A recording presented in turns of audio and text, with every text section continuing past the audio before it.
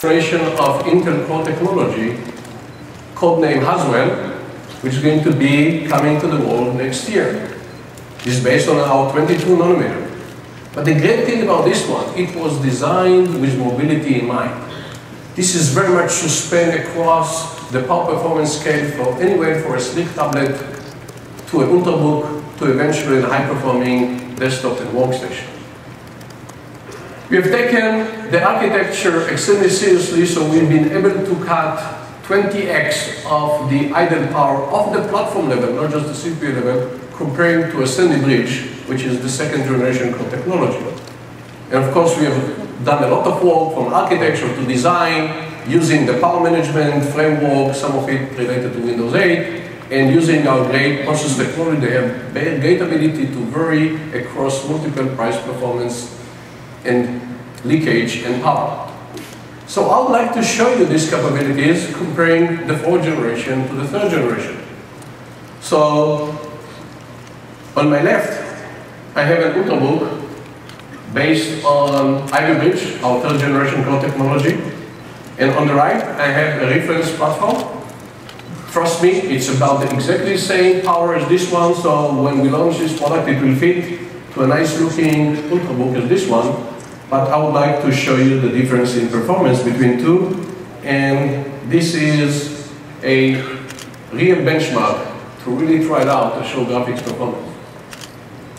What you can really see that we've been extremely proud about Bridge, which delivers almost double the performance of Sandy Bridge, but Haswell is going to be delivering yet another 2x the capability at the same power envelope.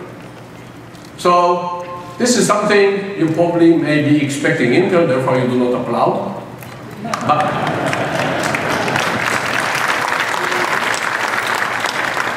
but delivering 2x generation by generation is not a small exercise.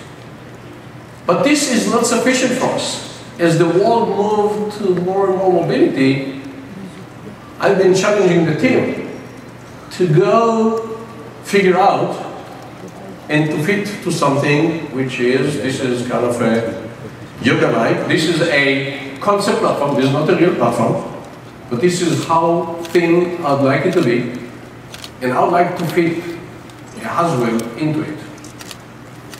So the team came back and said, well, it's easier asked than done. That's why I have my job, which is about asking. and they would like to compare the same core running at the same power, this is the third generation core technology, comparing to a Haswell fourth generation core technology running at less than half the power and see whether you could see the performance difference. So we're running about half the power and you can see it is about the same performance.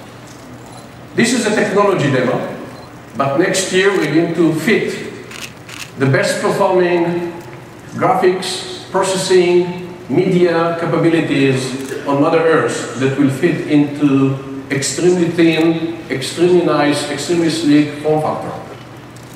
So mobile computing is not limited to tiny, low-performing devices. Mobile computing, it's about not just mobile, it's also about computing.